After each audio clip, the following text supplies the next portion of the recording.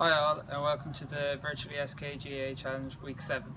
Uh, this week we're going to be working on the jab lift and hand pass challenge. So first I'm going to just demonstrate how I do it. We'll have the sit on the ground like so, jab, lift, jab lift into it, hand pass off the wall, drop the ball back down, jab lift again, hand pass. Right? And it's just key to try and get the ball low as catch as possible when you're jab lifting. So now I'm going to time myself for 30 seconds and see how many times I can get the hand pass off the wall. Ready? Let's go.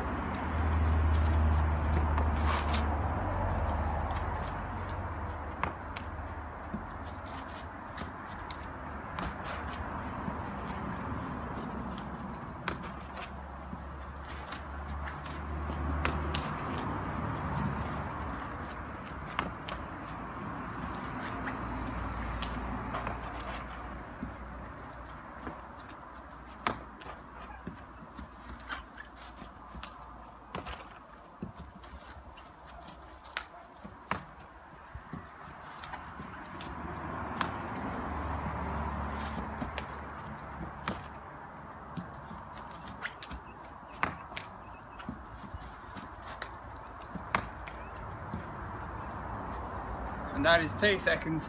My score is 15. See can you beat it?